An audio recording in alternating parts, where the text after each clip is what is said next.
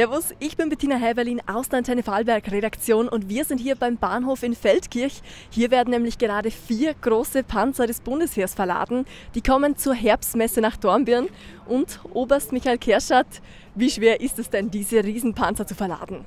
Ja, ist sicher ein großer Aufwand für uns, die Panzer zu verladen. Wir, sie kommen aus Oberösterreich, werden am Zug hier nach Feldkirch gebracht und wir entladen sie und dann stellen wir einen Konvoi zusammen die fahren ja wirklich direkt auf der Autobahn. Wie schnell ist denn so ein Panzer?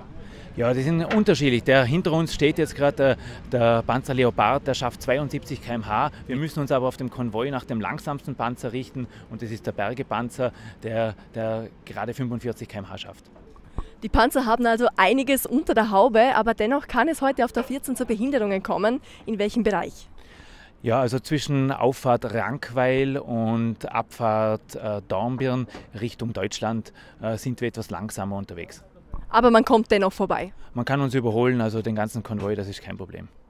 Und was zu sehen hat man da auch heute auf der 14. Vielen Dank, Michael Kerschat.